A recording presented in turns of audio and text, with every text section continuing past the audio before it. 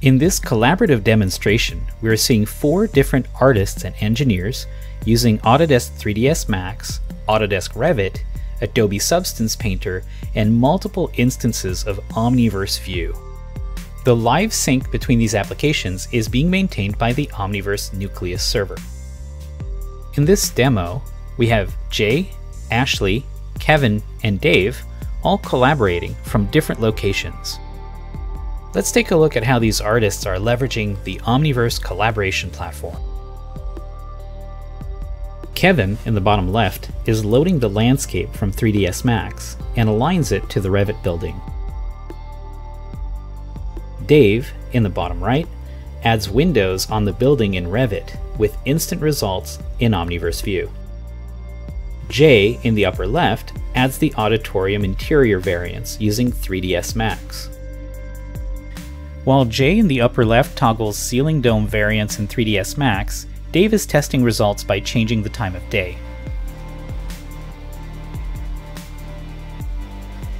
Dave in the lower right toggles flooring variants, while Jay connects his interior decoration 3ds Max scene to the stage.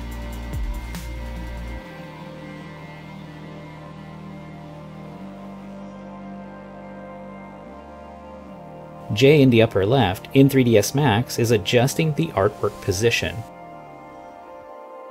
Ashley, seen in the upper right, is adding indoor plants using Omniverse View.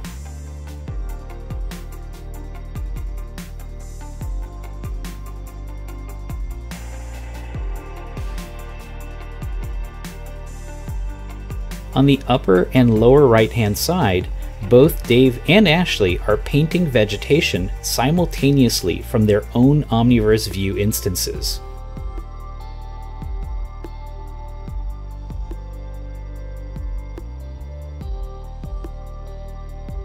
Dave loads in the cityscape in the bottom right and places it around the building, while Ashley in the upper right is still working on the landscaping.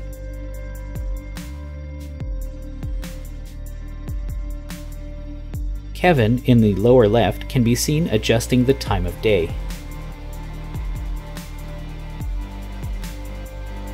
Dave in the lower right is working on the landscape. He's assigning new materials like the water surface and then adjusting the time of day. Ashley in the upper right adds a centerpiece in 3ds Max and a chandelier. Dave in the lower right adjusts the time of day and his camera.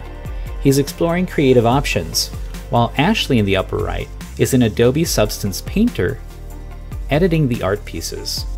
So in this demonstration, you see how four creatives can collaborate and really explore possibilities in context, modify CAD files, inserting thousands of polygons worth of foliage, interactively changing the time of day, and all of this while never having to do a single test render.